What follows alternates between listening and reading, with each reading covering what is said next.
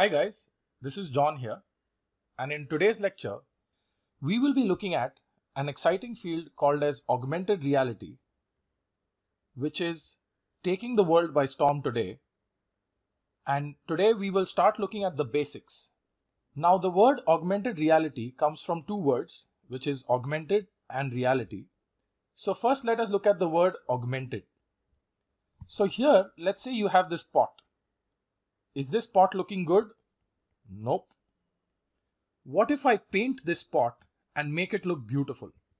Something like this. Does it look good? Yes.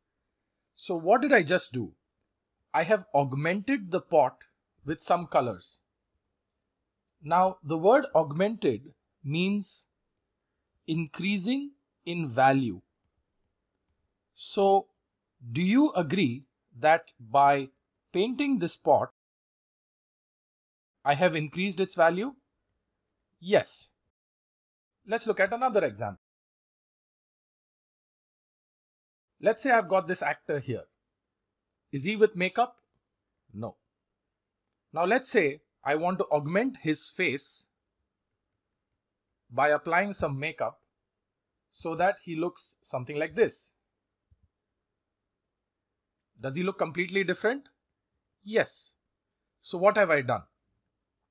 I have augmented his face. So basically, the word augmented means increasing value by adding something. So in the pot example, I added color and in the actor example, I added some makeup. So that's the meaning of the word augmented. And can you tell me what's the meaning of the word reality? Let us say I have this book in front of me. I can see the book. Can I see the car image? Yes. So whatever we can see around us, we call it reality. It's a simple English word. So whatever is around us and we can touch and feel, we call it as reality. Now we need to understand how we can combine these two words, which is augmented and reality, for us to understand an in-depth perspective of this technology. So we will pause here.